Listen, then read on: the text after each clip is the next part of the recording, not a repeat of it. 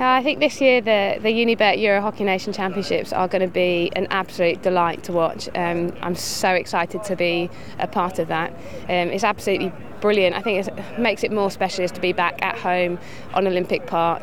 Um, it's going to be such a fantastic atmosphere here. Ticket sales have gone really well, um, but I know there are still some spaces left. So I think the moment you kind of walk out, you walk down that tunnel, it will bring back memories of those wonderful London 2012 Olympic Games, but it's very much about the here, the now, and I know the atmosphere will be brilliant.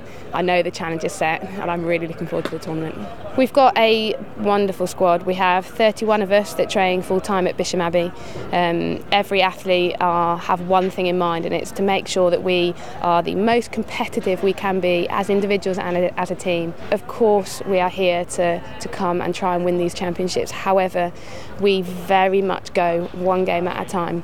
We are a process driven team. We make sure we get our behaviours right, our habits right, and we do all of the hard work and then we let the results look after themselves. Yeah, you know, we've got a, a difficult group. Uh, first game up, Scotland. There's always a bit of a battle there. You know, we know a lot of the girls. Um, you know, there's a couple of GB girls in that squad, and I'm sure it'll be a very close game. Uh, we've then got Italy, who are kind of the underdogs, but actually you know a decent side and will be again be a bit of a battle. And then obviously we've got Germany who um, you know on rankings will be our toughest game uh, an excellent side. And yeah you know we want to go out there and win all those games to, to secure a semi-final spot. We've had obviously a really hard training block leading into this and we feel you know we're fully prepared. We've still got a few few things to, to obviously to keep working on and um, but no we're, we're in a good place as a team. We're, we're um, obviously gelled really nicely and hopefully we can bring out and perform really well out here playing on home soil is very special.